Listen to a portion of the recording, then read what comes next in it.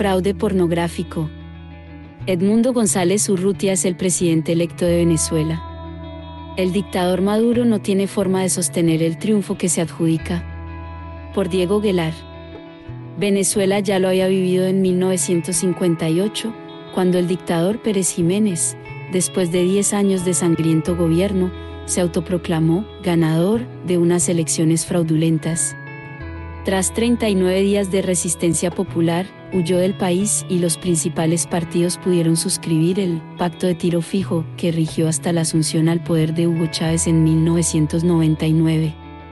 Hoy Venezuela se bate en una masiva resistencia, pacífica pero decidida y masiva, en las calles de todas las ciudades y pueblos venezolanos.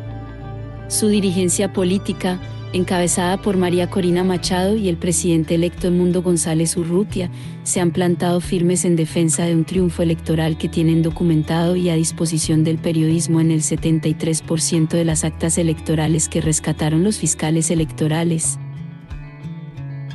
Ya hay muertos en las calles y se verifica una indignación imparable y creciente de la ciudadanía.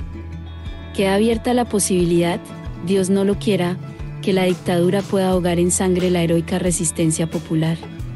Pero también está abierto el camino para que se rompa la cadena de mando y, tanto los funcionarios de la justicia electoral como los efectivos de las Fuerzas Armadas y policiales, desobedezcan a sus ya ilegítimas autoridades y no se presten a participar del baño de sangre que el dictador Maduro haya prometido antes del acto eleccionario.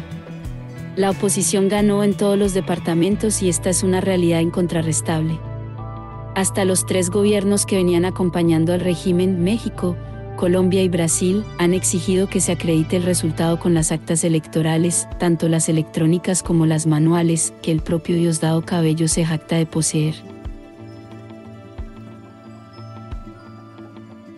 Estamos viviendo una jornada heroica, la más importante del presente latinoamericano, y tenemos que estar a la altura de semejante acontecimiento.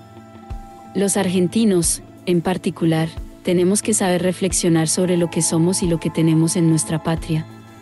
Hemos vivido un proceso electoral modélico el año pasado, cuando un candidato sin partido ni cobertura territorial alguna pudo triunfar por el 56% de los votos, imponiéndose una voluntad popular que no tenía correlato institucional alguno para consagrarse.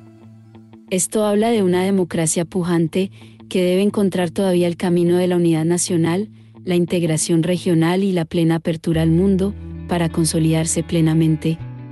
Hoy, gobierno y pueblo argentino, estamos respaldando a nuestros hermanos venezolanos desde la primera fila de la solidaridad activa.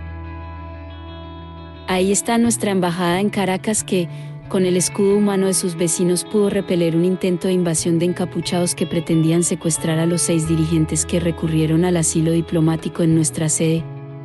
Sepamos honrar lo conquistado en nuestra tierra, consolidar el nuevo rumbo emprendido y ejercer en forma práctica la solidaridad plena con el pueblo venezolano. La historia nos está mirando.